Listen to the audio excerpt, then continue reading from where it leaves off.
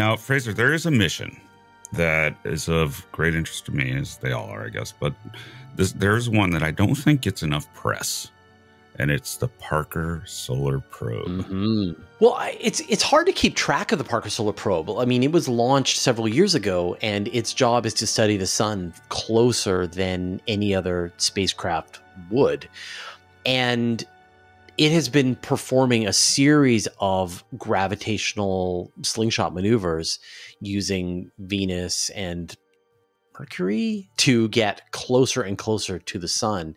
And every six months or so, we get another press release from NASA saying that that Parker Solar Probe has made its closest flyby to the sun and now it's you know it's vastly closer than any spacecraft has ever been and is still going to be getting closer and the sort of the design of the Parker Solar Probe is really ingenious because at its closest point, it is so hot that it's starting to cause damage to the spacecraft.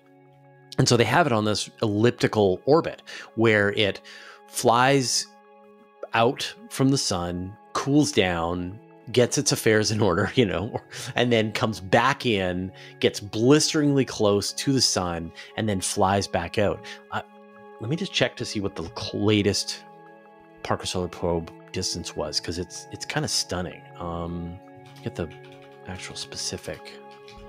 Um, so the last big one we had was in August, and they came within. Uh, oh no, they did a flyby of Venus in August, and the closest approach, the perihelion, they came within 7.3 million kilometers. And it was moving four almost 400,000 miles per hour, which is the fastest any fly spacecraft has ever moved. Any human yeah, any spacecraft that's ever, humanity has ever made. I would not want to be that close to the sun. The sun is scary. yeah, I mean, it's a star. Yeah, yeah. you know. Yeah. So, so the last one. Okay, so in it did its 16th close approach on June 27th and came within, yeah, okay, 5.3 million miles and is just going to keep getting closer and closer. I'm trying to get the, the actual from NASA, their, their final